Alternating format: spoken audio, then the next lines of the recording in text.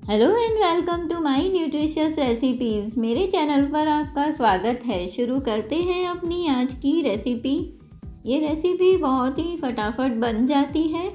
बहुत ही कम इंग्रेडिएंट्स इसमें चाहिए होते हैं। तो एक बार आप ये ज़रूर बना के देखिए। चावल लेंगे हम। दो टेबल स्पून मैंने एक डेढ़ घंटे के लिए इसे भिगो के रख दिए थे। इसके आप दबा के देख सकते हैं। एक दो टुकड़े हो रहे हैं। अब हम इसको डाल देंगे जार में, साथ ही में हम इसमें डाल देंगे कुछ बादाम मैंने भिगो के रखी थी और कुछ पिस्ते भिगो के रखे थे, इनके छिलके निकाल दिए हैं। तो ये दस बारह पिस्ते हैं और दस बारह बादाम हैं। इनको भी जार में डाल देंगे ताकि ये जल्दी गाढ़ा हो जाए। उसके बाद में हम इसमें डाल देंगे आधा बोल दूध। दूध या पानी आप कुछ भी लेके इन्हें ग्राइंड कर सकते हैं तो एक अच्छी सी पेस्ट बन जाएगी। तो इसकी पेस्ट बनाने के बाद में हम ले लेंगे एक पैन उसमें हम डालेंगे पानी थोड़ा सा और उसमें हम एक लीटर दूध डाल देंगे। आप देख सकते हैं ये पेस्ट कैसी बनी है। अब हमने इसमें दूध डाल दिया है। उसके बाद में इसमें एक बॉईल लाएँगे और फिर हम ये पेस्ट डाल देंगे। पेस्ट डालने के बाद में हमें कंटिन्यूसली से हिलाते रहना है। ये बहुत ही आसानी से बन जाती है।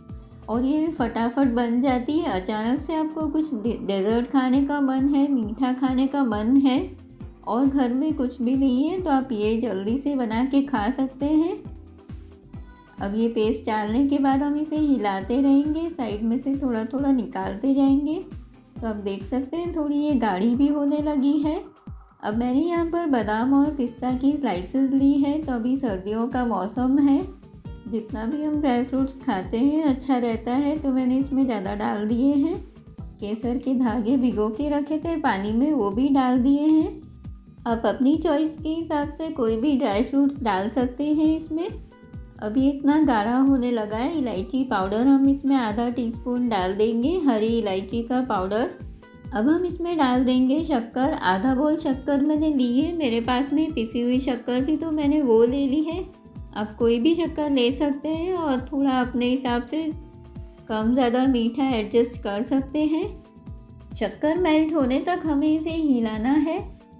नीचे से नहीं चिपके, वो भी हमें ध्यान रखना है। लो मीडियम फ्लेम पर ही इसे बनाना है।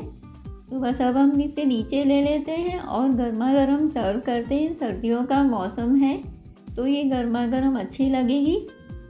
ऊपर से मैंने गार्निश किया है, बादाम और पिस्ता की कुछ स्लाइसेस से आप अपनी चॉइस के कोई भी ड्राई फ्रूट से आप इन्हें सर्व कर सकते हैं।